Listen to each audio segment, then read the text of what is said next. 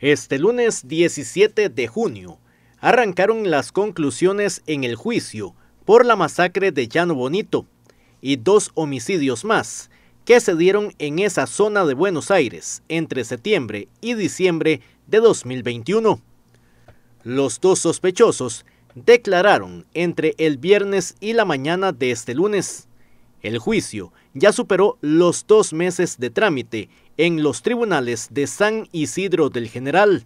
Han sido dos largos meses, ya poquito más de los dos meses más bien, en que mm, ha sido de igual, eh, como siempre lo hemos dicho, ha sido revictimizar a la familia en toda la situación, ha sido eh, inclusive de, mucho, de muchos sacrificios, porque eh, pues uno tiene que estar siempre cerca del asunto, presentando interés, por lo menos en memoria de, nuestra familia, ¿verdad? Y, y, también para que el tribunal se dé cuenta que sí habemos una familia afectada, que sí, que sí existimos, ¿verdad? Que estamos acá y que necesitamos que se haga justicia ¿verdad? ante esta situación. Efectivamente ya este, don Eitel, quien es mi representado, eh, declaró el día viernes en horas de la tarde, en horas de la mañana del día de hoy, lunes, ha declarado este Marco Antonio.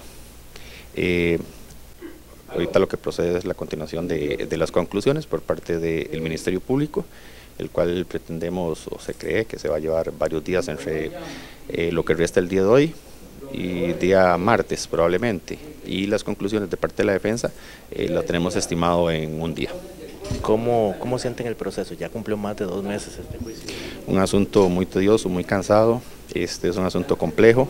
Efectivamente tiene más de dos meses de, de estar llevando a cabo pero este, hasta la fecha, hasta el momento, la defensa mantiene en pie y sujeto de que este, no se ha logrado demostrar ningún tipo de acción ilícita que la cual se investigó, que sea efectuado por medio de mi representado al menos.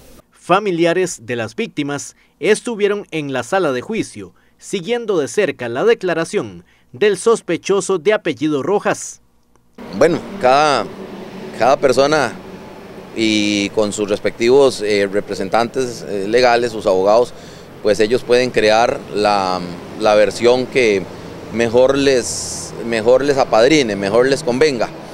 Eh, sin embargo, en, bueno, por la poca experiencia que tengo en la, en la parte legal, también pude notar que el comportamiento del, de este caballero eh, varió mucho en, específicamente en dos preguntas que le realizaron, eh, que son medulares para el caso, y él inmediatamente cambió inclusive su forma de moverse, su cuerpo, eh, la forma de expresarse, titubió inclusive entre el mismo, el mismo abogado que, le hizo las preguntas y, y, él no fue tan fluido como en las otras preguntas, que era quizás una forma más sencilla de declarar. ¿no?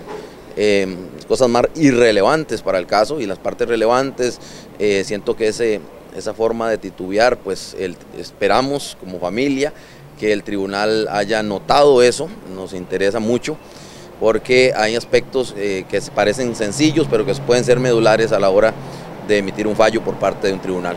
Los hechos que se debaten son la muerte de un adulto mayor en septiembre de 2021 las seis personas que perdieron la vida en una finca de un estadounidense en Llano Bonito en octubre de 2021 y el homicidio de un oficial de seguridad en diciembre de ese año en la misma zona.